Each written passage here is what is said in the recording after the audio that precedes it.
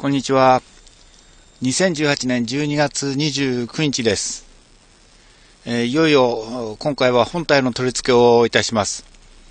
えー、吹雪もやみました。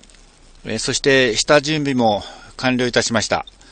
えステップ部分に取り付けをいたします。え取り付け、まあ、あの、するにあたりまして、一応全部用意して、あの、ステップの下にこう穴を開ける、えー、予定だったんですけども、えー、下を潜ってもう一回確認いたしましたら、ちょうどそこにあのー、針が通ってまして、えー、ちょっと穴開けが無理です。え真下には穴開けることができませんので、え急遽ステ、あのステップの横の方に、え穴を開けることに、えいたしました。えあの、ステップの部分、コンパネがちょうどオーバーハングしてます。えそのコンパネの下にはスタイルフォームを貼ってございます。えそのスタイルフォームをカッターで、え取りまして、えコンパネを出しました。えそしてそこにあの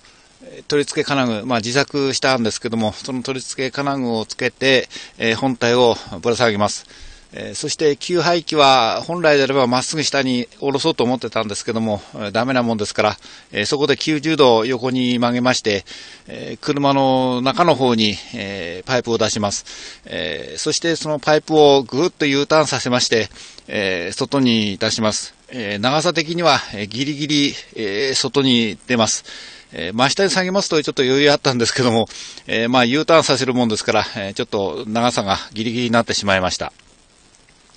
えそして隙間がちょっと空いたんで、そこのところには、あの耐熱コーキング、耐熱パテですか、え、それを埋めることにいたしました。えー、作業は結構かかりまして、えー、4時間ぐらい、えかかりました。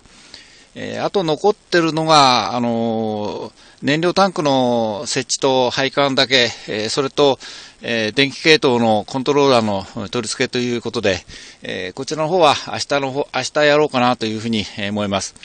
えー、ホルソーでの穴開けも意外と簡単でした。えー、ちょっと弱めのホルソーだったんですけども、えー、それでもしっかり綺麗な丸い穴が開くことができました。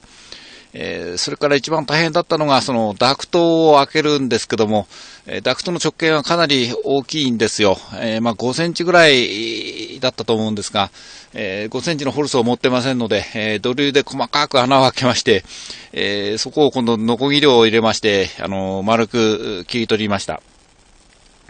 えその作業に結構時間がかかりました。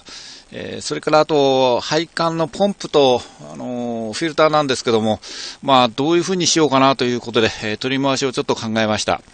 ステップの部分が結構広い面積あったんですけども、本体が大きいもんですから、えほとんどもうステップのところ、全部本体が占領するような形となってしまいました。